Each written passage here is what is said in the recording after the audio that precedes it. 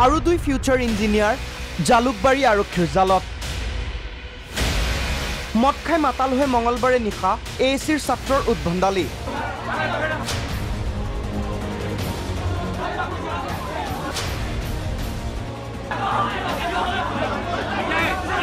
বিয়া ঘৰত সোমাই অভিযান্ত্ৰিকতাৰ ছাত্ৰৰ লংকাকাণ্ড।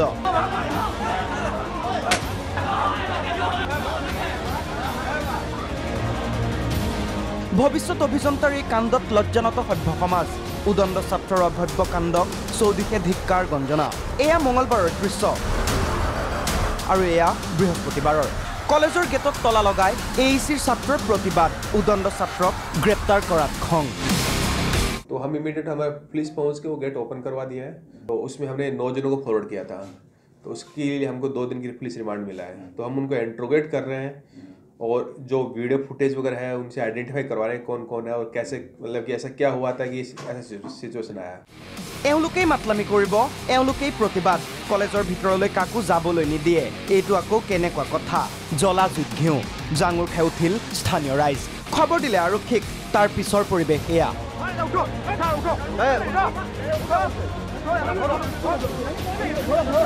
উদণ্ড ছাত্ৰৰ হৈ প্ৰতিবাদ কৰা এই দুই ছাত্ৰক আটক কৰিলে আৰক্ষীয়ে। লৈ গ'ল থানালৈ।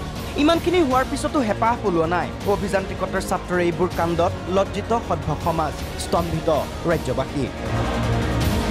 মালিগাঁৱৰ পৰা ছাইদুৰ ৰহমান প্ৰাগ নিউজ।